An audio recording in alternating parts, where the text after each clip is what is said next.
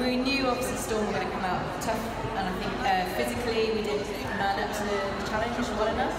And for me, I think we just got a little bit clunky at times in terms of both our through ball attack and taking through to goal.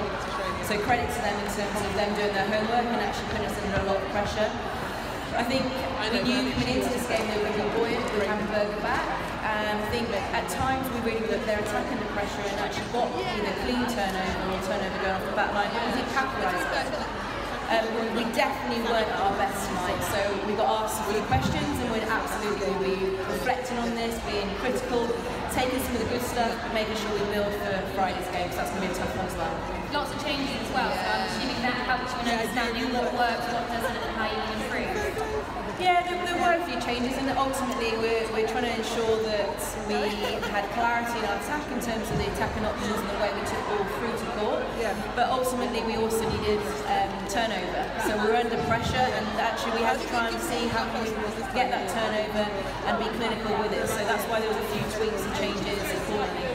And despite losing Eboni, you still look really strong in defence. So that's something that's promising with the young coming through.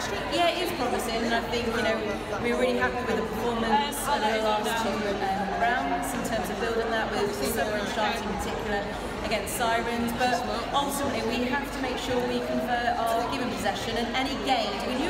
Out there tonight. Any possession we got, we have to you know persevere and really try and reward, and we did do that well enough tonight. And I think again, defensively all the way through the ball, we needed to um, ensure that pressure built, kind of undulated a little bit. So we need to look for consistency across the four quarters. Severn Stars on Friday, not much turnaround time sort of just go through the motions for the next few days and get back on the I think for, for us it's an opportunity, so we don't have to actually wait that long in terms of getting back to the drawing board and, and actually putting rights and wrongs and making sure again we build. There was some good stuff tonight, but we have to build from that, and we have to be better on Friday. They're going to be feeling buoyant from their game, obviously against Dragons, so we have to make sure we, we bring it 10 points on Friday.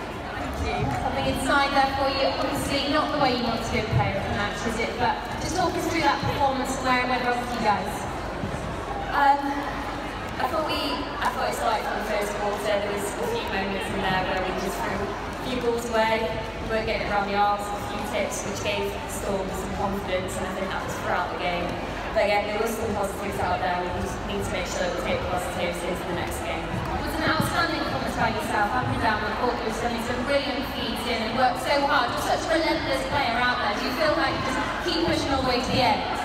Yeah, I mean, I probably could do some more sometimes I come off the pedal a little bit, so I just need to make sure that I'm going wide in attack and defence. And there's lots of new combinations there, you did lots of changes as well. So how much did that affect you guys kind of settling into and getting a consistent flow of play? No, I don't think so. We've had those combos out in training, so we should be able to switch and change into those straight away. There might be a little bit, but I think we, we've done it enough in training, so we should be able to implement it in the game.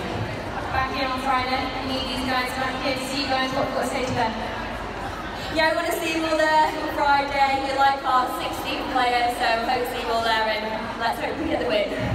Huge congratulations, Rachel Shaw, our player of the match for Team Bath, Major.